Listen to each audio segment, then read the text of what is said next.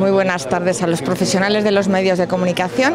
Hoy acudimos a este Consejo Territorial que ha sido convocado de manera precipitada, que sin duda eh, vamos a abordar diferentes puntos del orden del día, pero quiero resaltar una cosa, que desde que tomó posesión esta nueva ministra, pues no ha convocado a las comunidades autónomas y mucho menos a esta reunión tan importante que es el Consejo Territorial. Es la primera vez, eh, curioso, una vez ya convocadas las elecciones eh, para abordar diferentes puntos del orden del día y que sin duda pues, nos sorprende pues, la precipitación sin consulta previa y sin preparar los temas ni que vamos a abordar ni consultar por supuesto a las comunidades autónomas. Em, en primer lugar quiero destacar varios aspectos, el primero de ellos que se va a abordar es el Plan Nacional de Alzheimer. Este Plan Nacional de Alzheimer es un plan que venía ya trabajado por el anterior gobierno del Partido Popular, que sin duda es necesario, que es muy importante y que nosotros junto con eh, la Federación de Alzheimer de Castilla y León hemos reivindicado, pero sin duda hoy venimos a esta reunión con cierta sorpresa, ya que en una semana hemos recibido hasta tres documentos distintos del Plan Nacional de Alzheimer, por tanto no sabemos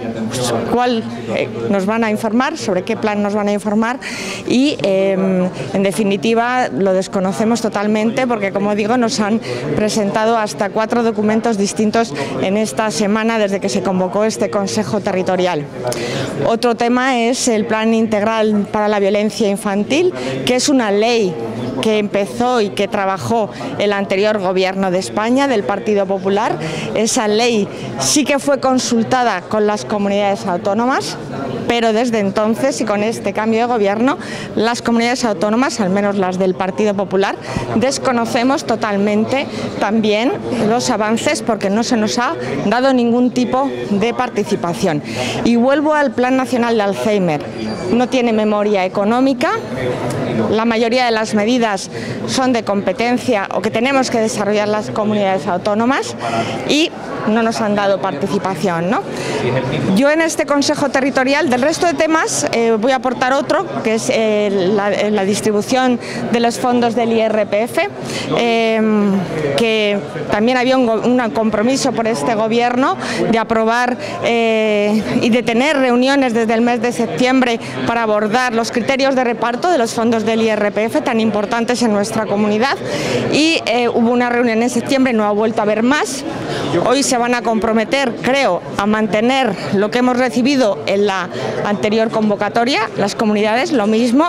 y lo que eh, el, fondo, el dinero, el presupuesto que hay a mayores para distribuir por encima de esa eh, cantidad eh, idéntica con respecto al año anterior, pues se van a empezar a reunir grupos de trabajo a estas alturas, que estamos en el mes de marzo, para ver los criterios de reparto. Lo que he hecho en falta en este Consejo Territorial es que este gobierno se presentó como un gobierno social que iba a resolver los problemas de financiación de la ley de dependencia, del, del apoyo a las personas dependientes y lo hablo desde una comunidad autónoma que como saben ustedes recientemente hemos sido valoradas, valorados por la Asociación de Directores y Gerentes como una comunidad modélica en este sentido. Quiero decir que en el orden del día no aparece ningún punto que aborde la dependencia. No solo eso, sino durante estos ocho meses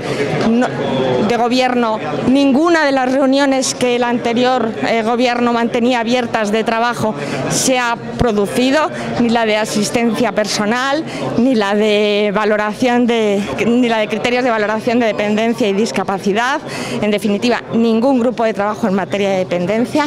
No solo eso, tampoco hay ningún compromiso de incremento presupuestario a las comunidades autónomas. Estamos en marzo